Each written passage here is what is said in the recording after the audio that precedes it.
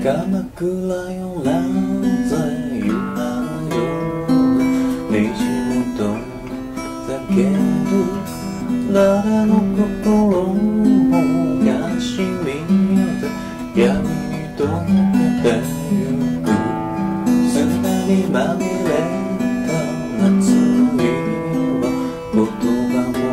いらない。いい加減じゃやだお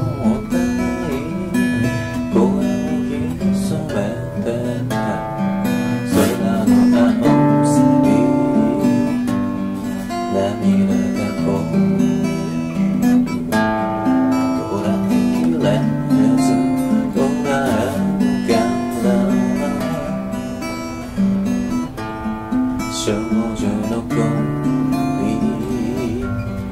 誰と出会った泣きが収ま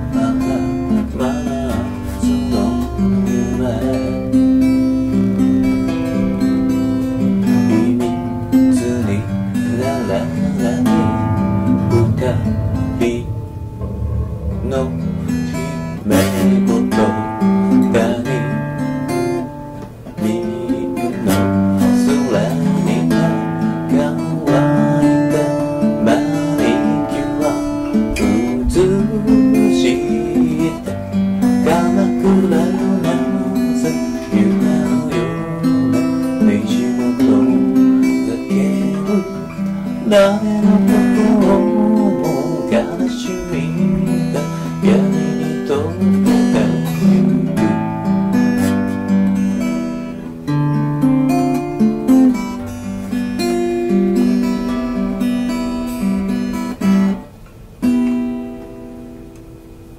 鎌倉にね毎月遊びに行くのが奈良橋なんですけど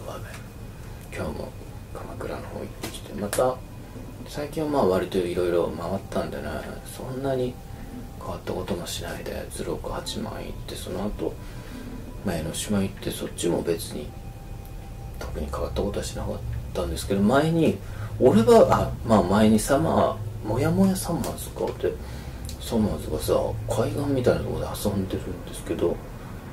あの網かなんか持ってて、まあ、魚とか捕まえて遊んでて記憶があるんだけどその場所がさ俺は知らなかったのねどこだか。で奥さんもうちの奥さんがそれ知ってたらしくて「あそここっから入ってきてそこだよ」って「この先だよ」って言って「あ知ってんだうちの奥さん」と思って「なんだよ」と思って行ったらねあの今日はちょっと潮位が高かったんであんまりあのなんて言うんだろうな。あのガレ場で遊ぶみたいな感じではなかったんですけれども。あのあでもまあ砂浜があってちょっと何人か何組か遊んでたりして。ああなかなかいい場所だなと思ったんだけど。何しろ今日は天気が良くてさすごいあの暑かったんであの浜辺っていうのは逃げ場がないですね。あんまり天気がいいとねパラソルでも持っていかない限りは。えーまあそそくさと退散してきたんですけどね。江ノ島の上の方でいるいるキャンティいるシャンティキャンティえースパゲティとピザをまた食べて目なんつって海見たりして帰ってきましたけどやっぱりいつ行っても